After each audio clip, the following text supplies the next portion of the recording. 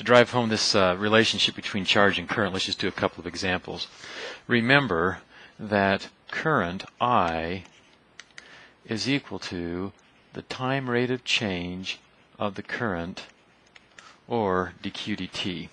It's measured in coulombs where its units are coulombs per second which we also refer to as amps. So for example, if we knew our charge distribution as a function of time, q of t was equal to 3t squared, then I of t, the rate at which the current was changing, would equal dq of t dt, which would simply equal 3 times 2 times t, or 6t. Let's look at that graphically. If we have a charge distribution that's equal to 3t squared, it's something that's doing, it's, ex, or it's a quadratic, it's a parabola, parabola with a scaling factor of 3 on it. Okay. The current, so this would be q of t, and the time rate of change of this would then be I of t, which is equal to 6t.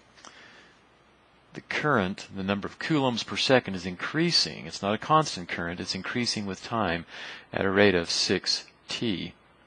So after one second, you'd have 6 coulombs per second going. At the end of two seconds, you'd have 12 coulombs per second flowing, and so on. Alrighty, now what if we had I of t given to us, that I of t was a constant 5 coulombs per second or 5 amps. Then q of t would equal the integral from 0 to t of i of, let's use a different variable, a, a variable of integration, i of x dx, which would equal the integral from 0 to t of 5 dx, which then equals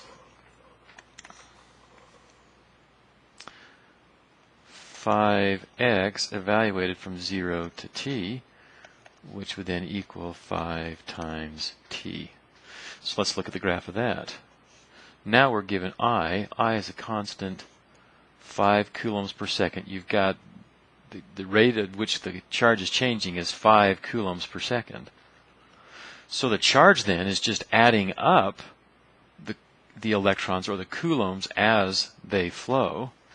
And we then get that I, or I'm sorry, Q of T would be a straight line Q of T equals 5T if I of T is a constant 5 amps.